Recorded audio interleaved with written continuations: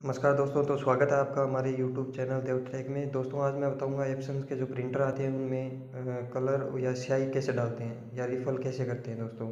तो सबसे पहले आपको साइड बॉक्स है राइट हैंड की साइड में आपको मिलेगा, उसको ओपन कर लेना है दोस्तों। उसमें चार चैम्बर दिखाई देंगे दोस्तों। चारों चैम्बरों को आपको ओपन कर लेना है दोस्तों। जैसे ही आप ओपन कर लोगे तो जस्ट उसके सामने ब्लैक येलो रेड और ब्लू का ऑप्शन होगा दोस्तों। जैसे, और आपको इसके साथ में जो न्यू आएगा, उसके साथ में आपको स्याही मिलेगी दोस्तों। अगर आपका जो पुराना हो गया या दुकानदार ने डाल के दिया था, आपको नहीं आता है, आपके सेकंड सेकंड हैंड लिया है, उसमें रिफ़िल करना चाहते हैं तो उसके लिए मैं बता देता हूँ दोस्तों, चारों चैम्बर दिखा देता हूँ दोस्तों। सबसे से पहले ब्लैक येलो और ये जो रेड और उसके बाद में ब्लू ये ऑप्शन होंगे दोस्तों। तो इनमें आपको कैसे करना है दोस्तों, ये मैं आगे बताता हूँ। तो आप जैसे ही देखेंगे येलो वाली तो इसको सबसे पहले आपको उल्टा कर देंगे तो भी आप ये नीचे नहीं गिरेगी। आप इसके अंदर डालेंगे तो लॉक सिस्टम होता है दोस्तों, उसी के द्वारा ये अंदर जाएगी।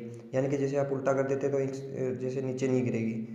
तो दोस्तों, उसके बाद में आप रेड वाली ले लेंगे। थर्ड नंबर पे रेड जो है, वो इंक डिपॉजिट कर देंगे इसके अंदर। रेड वाली जैसे डिपॉजिट कर देंगे, उसके बाद ब्लू वाली ले लेंगे दोस्तों। ब्लू वाली अंदर डिपॉजिट कर देंगे। लास्ट फोर्थ नंबर पे ब्लू वाली आएगी दोस्तों। फ़र्स्ट नंबर ब्लैक ब्लैक वाली आएगी दोस्तों। उसके बाद में आपको प्रिंटर को ऑन कर लेना है। ऑन करने के बाद में थर्ड थर्ड और फोर्थ नंबर जो ऑप्शन होगा, उसको थोड़ी देर के लिए दबाए रखना है और जैसे ही बत्ती ब्लिंकिंग करने लग जाएगी तो इसको छोड़ देना है और उसके बाद में ऐसी कुछ आवाज़ें आएगी।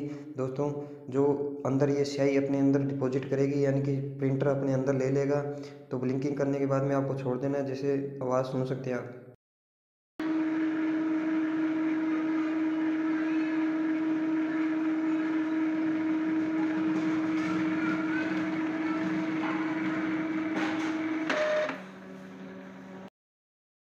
तो इस तरीके से आप अपना एप्सन का जो प्रिंटर है, उसको रिफ़ल कर पाएँगे दोस्तों।